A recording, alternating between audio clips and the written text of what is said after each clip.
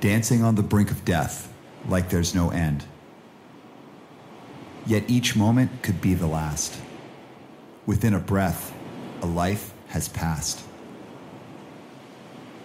The reality of the end of my life is at the edge of what I can perceive.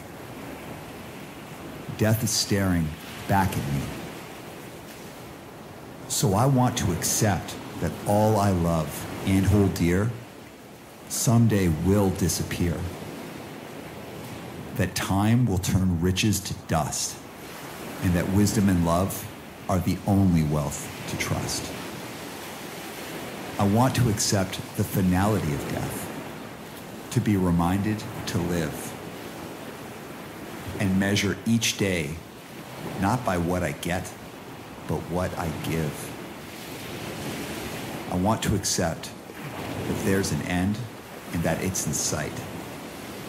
So I will try to find in every breath life in death.